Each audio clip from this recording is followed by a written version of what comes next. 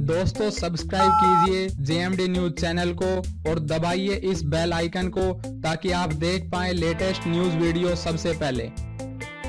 दोस्तों बॉलीवुड एक्ट्रेस श्रीदेवी का दिल का दौरा पड़ने से दुबई में निधन हो गया। चौवन साल की श्रीदेवी पति बोनी कपूर और छोटी बेटी खुशी के साथ रविवार को दुबई में मोहित मारवाड़ की शादी में शरीक होने गई थी।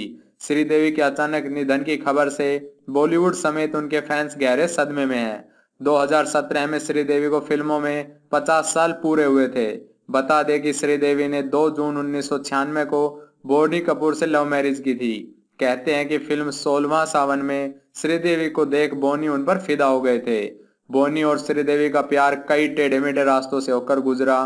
दरअसल शुरू में ये एक तरफा प्यार ही था। भले ही इसकी शुरुआत फ़िल्म मिस्टर इंडिया से हुई हो, लेकिन बोनी श्रीदेवी के प्यार में तभी पड़ गए थे। जब वे 1970 के दशक में तमिल फ़िल्में किया करती थी। बोनी उनसे मिलने के लिए चेन्नई भी गए, लेकिन श्रीदेवी के सिंगापुर में होने के कारण उनसे मुलाकात नहीं हुई। फिर उनकी डेब्यू हिंदी फ़िल्म सोलमह सावन से रिलीज़ हुई और इसे देखकर बोनी इतने प्रभावित हुए कि उन्होंने तय कर लिया कि वे बतौर प्रोड्यूसर श्रीदेवी के साथ फ़िल्म में काम करेंगे। एक दिन बोनी श्रीदेवी से मिलने उनकी फ़िल्म के सेट पर पहुँचे, तब श्रीदेवी ने बताया कि उनका काम उनकी माँ देखती है। जब बोनी अपनी होने वाली सास से मिले तो उन्होंने कहा कि श्रीदेवी फ़िल्म मिस्टर इंडिया में काम तो कर सकती है, लेकिन उनकी फ़ीस दस लाख रुपए होगी। बोनी ने जवाब दिया कि वे ग्यारह लाख रुपए देंगे। श्रीदेवी की माँ खुश हुई और इस तरह बोनी कपूर को अपने प्यार के करीब आने का मौका मिल गया। उन्होंने श्रीदेवी के लिए खास इंतज़ाम किए, लेकिन अभी भी बोनी की मंजिल दूर ही थी। इधर श्रीदेवी कथित तौर पर मिथुन चक्रवर्ती के प्यार में थी और उधर बोनी ने मोना कपूर से अरेंज मैरिज कर ली थी।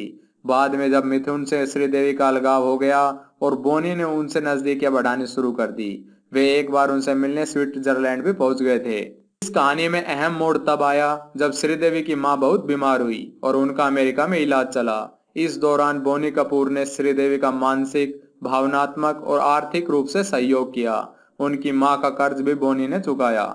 श्रीदेवी उनके इस समर्पण से बेहद प्रभावित हुई और उन्होंने बोनी के प्रपोजल को हाँ कह दिया। श्रीदेवी ने उन्नीस सौ छियानवे में अपने फैंस और फ़िल्म इंडस्ट्री के लोगों को चौंकाते हुए कहा कि उन्होंने अपने से आठ साल बड़े उम्र के बॉलीवुड प्रोड्यूसर बोनी कपूर के साथ शादी कर ली।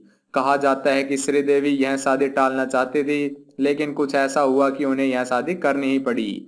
मीडिया में उस समय चली खबरों के अनुसार, जब श्रीदेवी की शादी फ़िल्म प्रोड्यूसर बोनी कपूर से हुई, उस दौरान वह प्रेग्नेंट थी। बाद में उनकी दो बेटियाँ, जानवी और खुशी कपूर हुई। तो दोस्तों, उम्मीद करते हैं आपको हमारे द्वारा बताई गई जानकारी पसंद आई होगी। हमारी वीडियो को लाइक करें, शेयर करें और कमेंट बॉक्स में कमेंट ज़रूर करें।